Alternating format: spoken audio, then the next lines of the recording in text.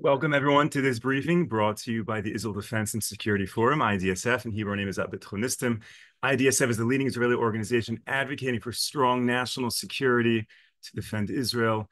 It's a great pleasure to be joined today by Brigadier General Amir Avivi, the founder and chairman of IDSF. And we are in a little bit of a different location than usual. We are at the United Bakers Dairy Restaurant in Toronto, Canada. We've come to Toronto to meet so many wonderful people who stand so strongly with Israel.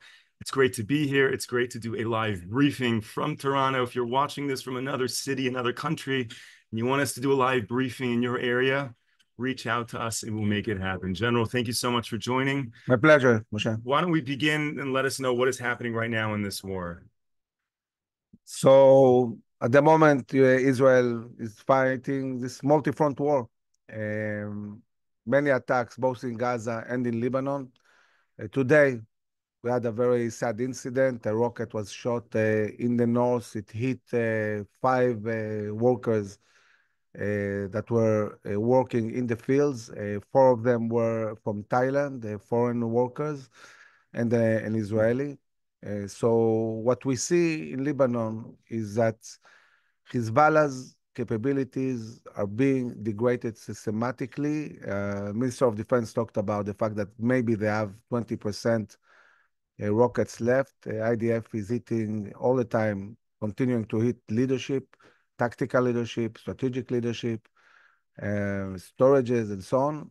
Um, and most of the shooting we see in the last week or two is focused along the border. It means that Hezbollah is shooting with short-range uh, rockets that they have left. They had many of those.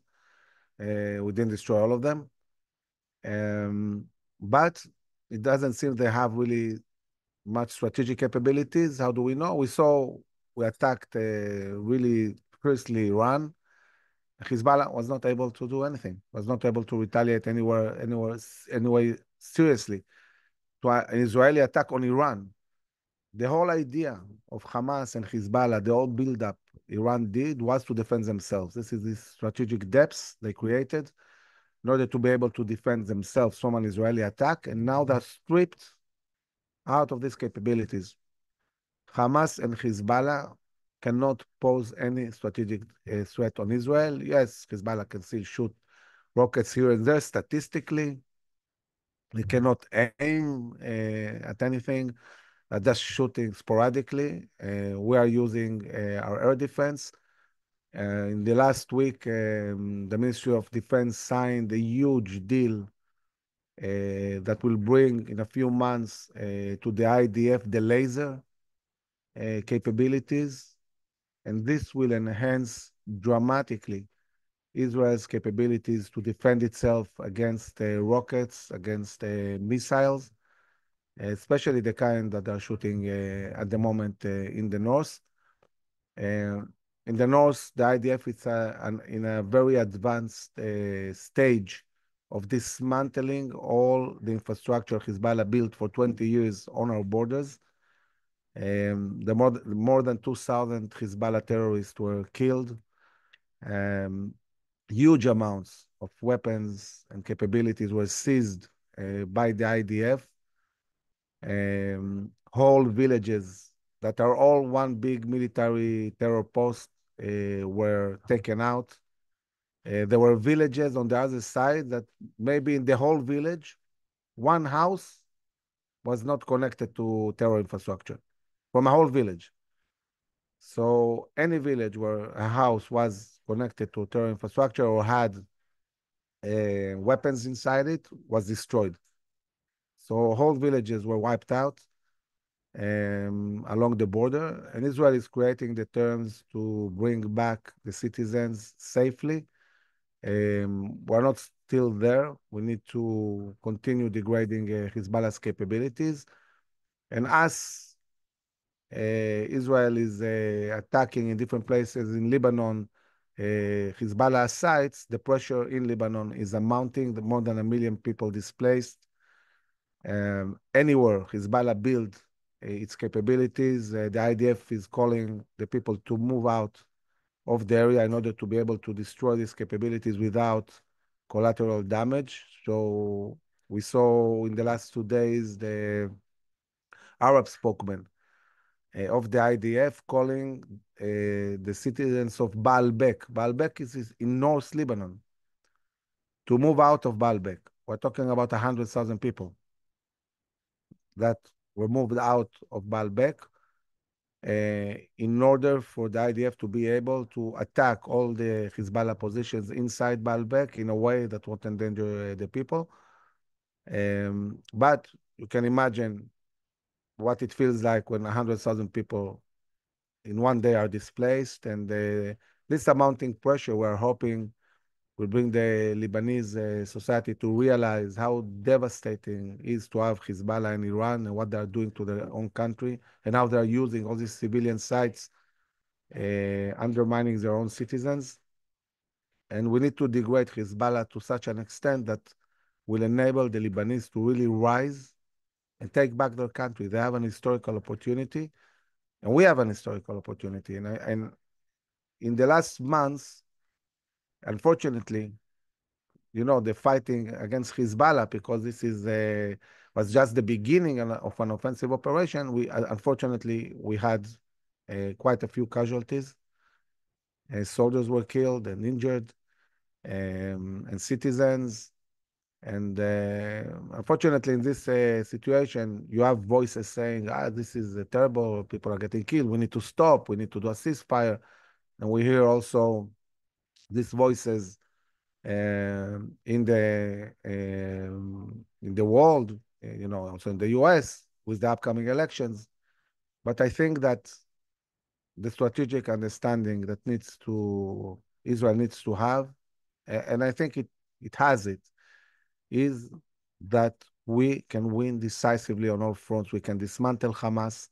We're in the position to really create a reality where also Hezbollah will be dismantled according to Resolution 1559 um, and really change reality for generations and not just do a ceasefire, let Hezbollah survive it, and then in five or 10 years, we'll, we'll have to go to a war again. This doesn't make sense. We need to eradicate them. Uh, and for this, we need also the international community and also the population of Gaza and, and Lebanon to do their part and take responsibility for their lives. And this is a process. We're not cannot we cannot fully control this process. Uh, we can degrade and destroy uh, these uh, organizations, but at a certain moment, we'll have to see also counterparts in Lebanon and citizens in Gaza saying, okay, we're taking responsibility of our own lives and uh, also assisting in uh, dismantling this, uh, these organizations.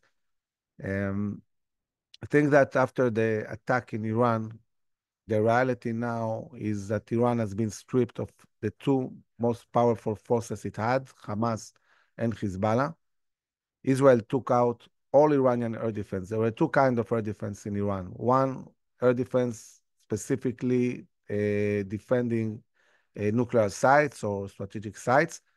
Israel took out this air defense, but there was also air defense geographical overall covering uh, Iranian airspace, and Israel took that also. So Iran now is completely exposed. Israel has full freedom of operation. Israel is not afraid that if they attack Iran, uh, Hezbollah or Hamas will shoot because they cannot endanger us seriously. Um, and this is a very defining moment, which creates two realities. One, Iran being so exposed, uh, we understand that they will probably try to accelerate the nuclear program in order to defend their uh, regime. And this is dramatic because the, the regime number one uh, interest is to exist. And if they don't have the strategic depths and they cannot defend their airspace, they really are left with one thing, mo moving forward fast with the nuclear plans. And Israel, on the other hand, and also it needs to be an understanding globally, understands that this is going to happen and, and, and we have only two choices. It's either they become nuclear, which will be devastating, or we take care of that before. So this is a one-way ticket. It's either way. And therefore we cannot stop. We have to take out the nuclear sites of Iran. Now, this is not going to happen in a day or two. It's a process. And because it is a process, uh, it will go beyond the elections in the US and also the beginning of the next administration. And therefore, it's really crucial to see what will be the next administration's policies. And also, in a way, on the 6th of November or 7th of November, after the elections in the US, what will be the legacy President Biden will want to, to leave in his presidency, regardless of who wins the elections. There will be two months where President Biden will have to decide what his legacy is going to be.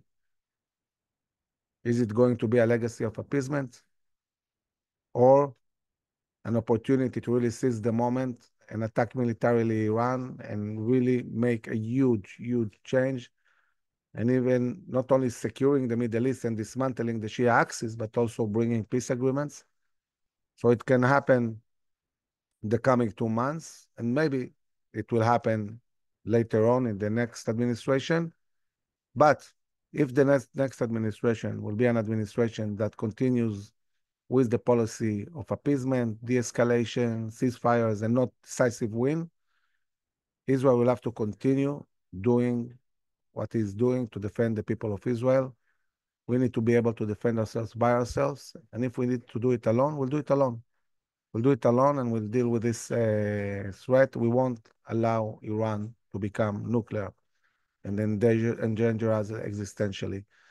So really, I think one of the important things we're doing an IDSF, as we have done throughout all this year, is continue to empower the society, the Jews around the world, continue to empower the government to seek total victory. And total victory can be achieved.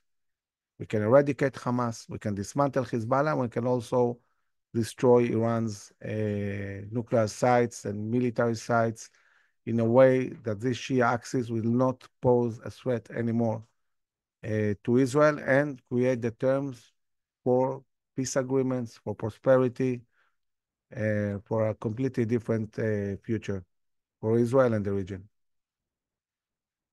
Thank you, General, for starting us off that way, giving that beautiful overview of the state of the war right now.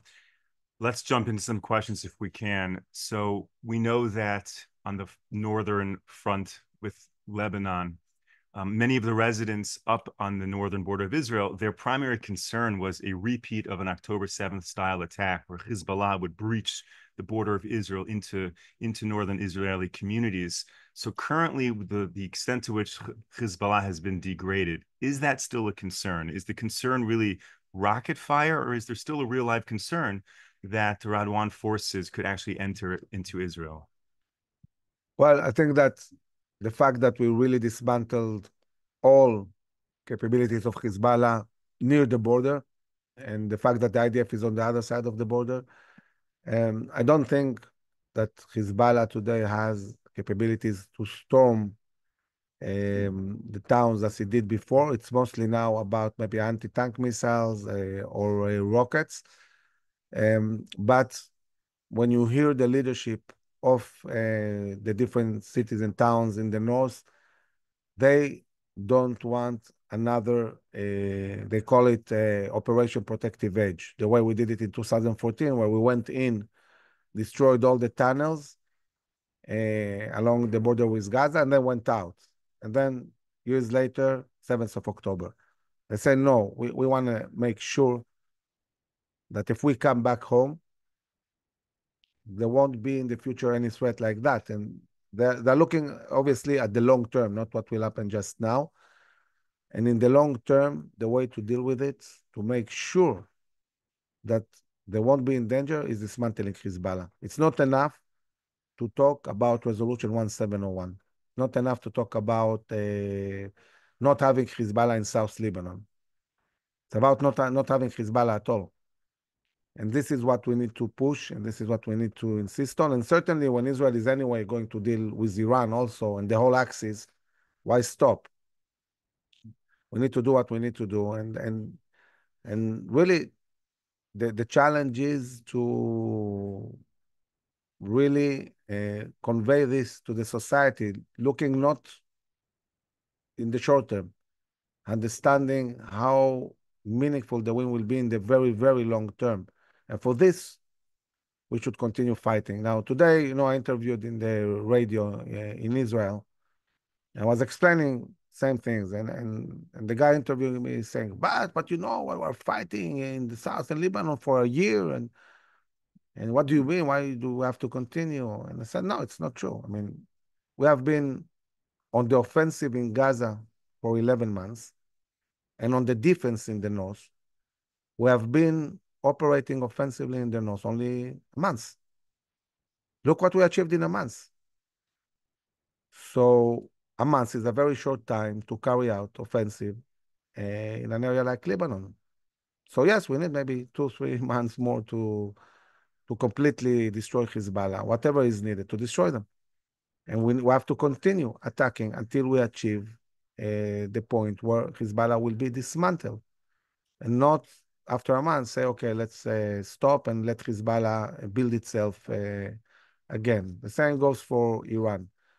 So it's worthwhile continuing to fight because the price in the long term will be huge, huge. And th therefore, it's worthwhile continuing the fight and not running to do ceasefires uh, or trying to find uh, solutions. Also, I think if I was Netanyahu, um, I wouldn't do any deal before I know what's the outcome of the elections in the US and who will be the next president and what we can get of that and what, what might be the next policies.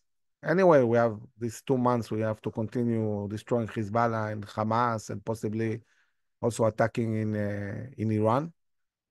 Um, so we don't need to rush this we, we need to wait and, and see that when, when we really want to get a deal, that it will be the best terms Israel can uh, achieve. As we know, in the early stages of this campaign against Hezbollah, Israel very impressively took out the top echelons of Hezbollah leadership. So when people even consider a ceasefire or sitting at the table with Hezbollah, does Hezbollah have a command structure, a, a leadership even capable of making those types of decisions? Is there anyone for Israel to even talk to?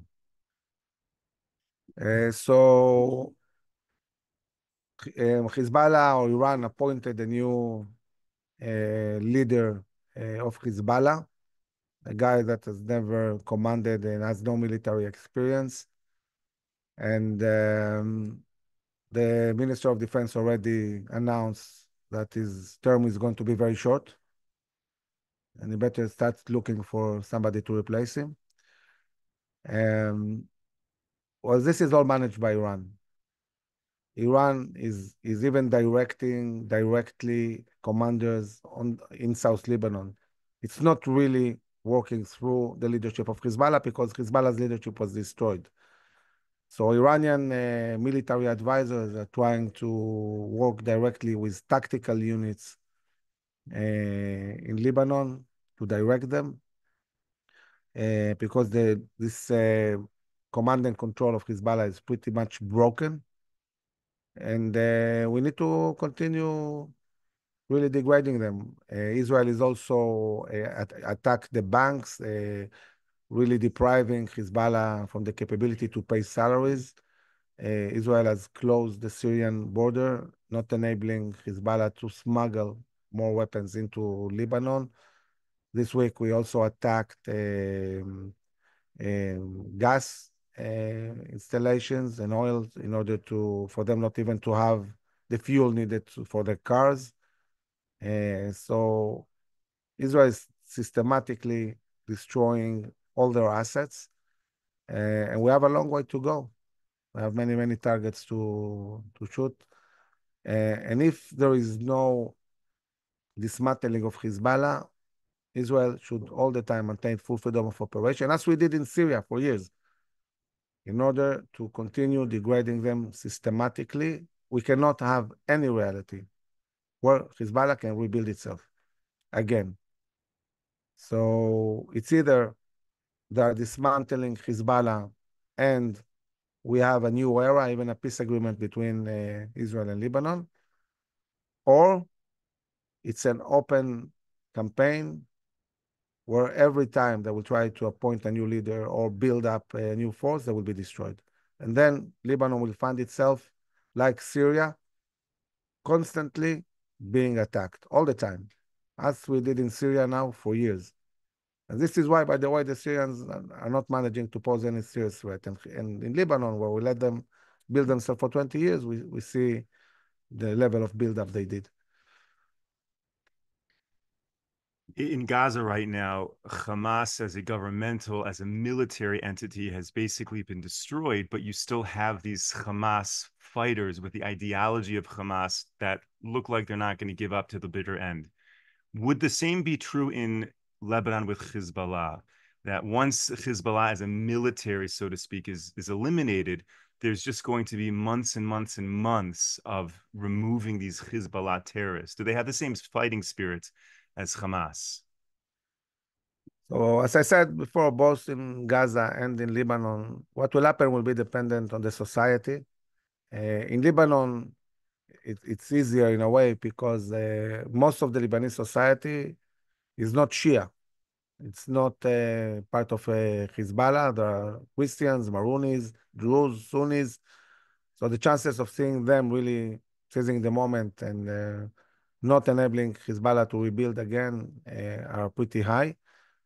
Um, in Gaza, I think one of the reasons that Hamas uh, still is able to function is the aid. The fact that all the humanitarian aid that we're bringing in goes into the hands of Hamas, this is devastating. The only way to really change this reality is create the terms that this aid will go to the citizens and Hamas won't be able to seize it. IDF is working on solutions. The government has demanded the IDF to find solutions for that. It's not happening yet the way it's supposed to be. Uh, but when we will figure this out, I, I, think this will be the moment we'll see Hamas really not controlling the society anymore and losing uh, ground. As I mentioned in the beginning of the briefing, we're coming to you all live from Toronto. And since being here, the general and I have met many people who have shared their personal and communal experiences with anti-Semitism and the rise of anti-Semitism. And I see many people in the chat writing in about anti-Semitism uh, abroad. So, General, my question would be: To what extent is the increase of anti-Semitism that's happening across the world is it a real strategy and piece of this puzzle of Iran, or is it just a coincidence? No, I don't think it's a coincidence. And uh, both Iranians and the Palestinian Authority are heavily, heavily invested in promoting anti-Semitism. I mean, BDS, one of these leading organizations operating in universities, is managed by the Palestinian Authority and by Palestinian groups. Anybody who goes into BDS site and scrolls all the way down and sees who is managing BDS, it says BNC. BNC is the group of Palestinian organizations led by the um, Palestinian Authority. Palestinian Authority is a strategic threat to Israel. Hamas was an operational, tactical threat, but the Palestinian Authority is much more dangerous. They are a real strategic uh, threat because they promote delegitimation in Hague, in the UN. They promote anti-Semitism. They endanger the whole Jewish world. Um, and it's time to expose them. And it's time to bring down also the Palestinian Authority. Uh, the only chance we have for any coexistence uh, with Arabs in Israel is without all these terror organizations, really based on local leadership of uh, the local clans in the different cities and not based on terror organizations that are devoted to a complete uh, destruction. And in this sense, Hamas and Palestinian Authority are the same. They promote exactly the same ideology. Thank you, General. I want to ask one final question. You speak a lot about this total victory, just completely destroying Hamas, Hezbollah, Iran, so that Israel can have this golden age. But at the same time, we know that Iran plays the long game and there are no rush to end the conflict. So, on the one hand, we in Israel uh, are looking forward to that day after and you speak a lot about what Israel will experience. But on the other hand, our enemies are planning on dragging this out forever. So, how do we get to that point of the day after? How does the Israeli society and world Jewry and those who love Israel kind of wait for that uh, moment of victory uh, when potentially it can be a very, very long time? Yes, it might take a few more months. It might take a year. Um, in Hebrew, we say, עם הנצח לא מפחד מדרך ארוכה. The people of eternity are not afraid from a long journey. Um, and I think that time is playing in our, in our favor, not in their favor. Every day that passes, Israel is getting stronger uh, and more resolute. And what we're managing to do is amazing. Every day that passes, they get weaker. Um, so we, we need patience. We need patience because to achieve a total victory on a scale that is biblical uh, takes time. And we are living in a biblical moments. We have to really understand, see the big picture, see the big picture that we are going to ensure the security and prosperity of Israel and the Jewish people for generations. And to do that, you need to fight. You need to fight and win decisively. Um, and I think this is the most important thing I encourage all of you um, to really be engaged in, in empowering our soldiers, in empowering our government, in empowering our communities uh, to really understand this historical moment. Uh, and I'm very, very optimistic about the coming year. I think we'll see great things um, and uh, really will move towards uh, this total victory. But this is providing we don't are not tempted to get a you know a ceasefire without really this total victory that can be achieved, and it can be achieved. It's not just a word. We can really do it. Can dismantle Hamas. We can dismantle Hezbollah, and we can really uh, make sure that Iran won't pose a threat to Israel uh, anymore. It's achievable. And I hope with a bit of luck that we will be able also to get uh, America to join. In Yom Kippur, I spent, you know, most of my time in the synagogue, but between the prayers, I, I read again uh, one of the books of Churchill, um, looking at the ways he tried to get America to to fight alongside uh, Europe against the Nazis. And we have to remember that even when the Nazis conquered all of Europe and France, and even when Churchill wrote a letter to Roosevelt saying, we are making a last stand here in Britain, maybe in a few months we won't exist. Even this didn't make the US motivated enough to go to war. It takes time to get the US to, to really do the right thing. Um, and I think that um, basically Israel is really, really creating the terms, all the terms needed to empower also the US to decide to lead an attack on Iran and completely change the fate of the whole globe, the region, and also of the people of Israel. So we have to pray that this will happen. Brigadier General Amir Avivi, thank you so much for joining me for this briefing. Thank you to United Bakers Dairy Restaurant here in Toronto, Canada. Thank you to our live studio audience watching this briefing. It's great to be with all of you. We will be back with you for more briefings. We're traveling right now, as you can see, and therefore our schedule has been a little bit different. We're also having some challenges getting at our emails uh, internationally, so apologies on the lack of communications, but we will be back with you 10 a.m. Eastern Time 5 p.m. in Israel or 4 p.m. No, 5 p.m. in Israel next week. Until then, stay safe, stay strong. Take care, everyone.